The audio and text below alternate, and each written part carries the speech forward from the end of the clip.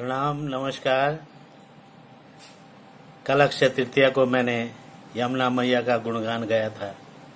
आज मैं आपके सम्मुख माँ गंगा का गुणगान एक छोटी सी कोशिश के साथ जितना मुझे इस अल्प ज्ञानी को पता है तो दो शब्द आपके प्रेम में। कहते हैं कि ब्रह्मांड अनंत है, प्रकृति भी अनंत है, और अनंत है ये सारी सृष्टि।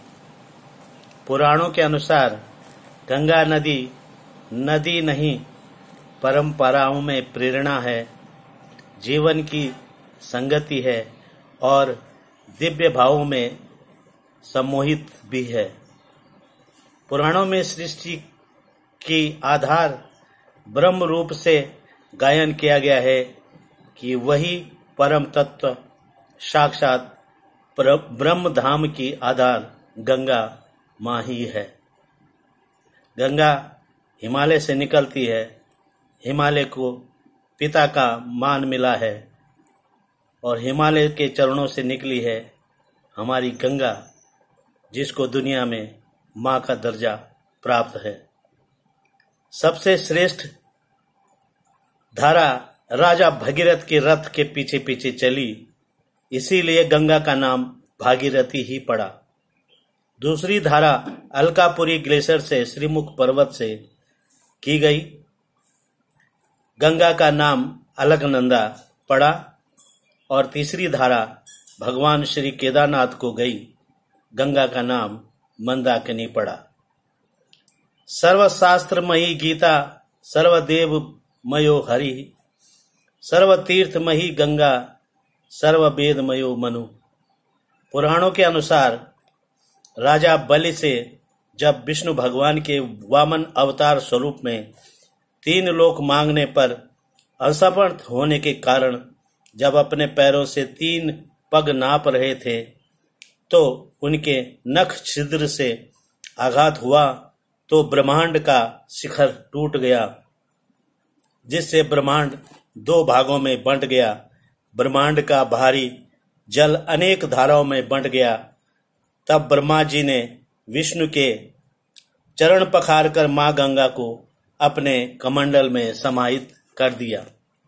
ब्रह्मा की आराधना पर जब गंगा उतरने लगी तो शिव जटाओं में समा गई। जब शिव ने एक धार को छोड़ा तो गंगा दस धाराओं में बंट गई। मुक्त होने पर गंगा, देवलोक में अलगनंदा, पितृलोक में बेतरणी और मृतलोक में अमृतमयी गंगा के नाम से जानी गई। गौतम ऋषि के प्रयासों से अवतरित गंगा को गौतमी गंगा भी गंगा भी कहा गया है।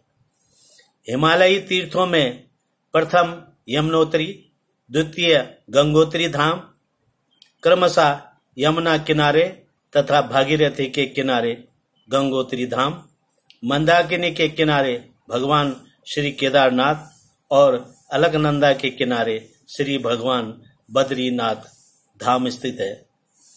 अक्षय तृतीया, दिवस पर गंगा माँ का, माँ की शीतकालीन गद्दी से अपने उच्च स्थान गंगोत्री धाम में डोली परंपरा के साथ विराजमान हो जाती है हर वर्ष अक्षय तृतीया को, तथा छह माह के पश्चात पुनः दीपावली के बाद भैया दूज को कपाट बंद हो जाते हैं। प्रत्येक मास की कृष्ण पक्ष की षष्ठी से लेकर अमावस्या तक गंगा पृथ्वी पर ही निवास करती है। गंगा का उद्गम स्थल गंगोत्री से 18 किलोमीटर दूर गौमुख ग्लेशियर से उद्गमित होती है। इसी सभी आस्थावान श्रद्धालु आस्था लेकर सुख समृद्धि, यश, ऐश्वर्य और सौभाग्य की प्राप्ति की अभिलाषा करते आ रहे हैं, चलते आ रहे हैं। वर्षों से, पूर्वजों के समय से यही बात आज भी सत्य है।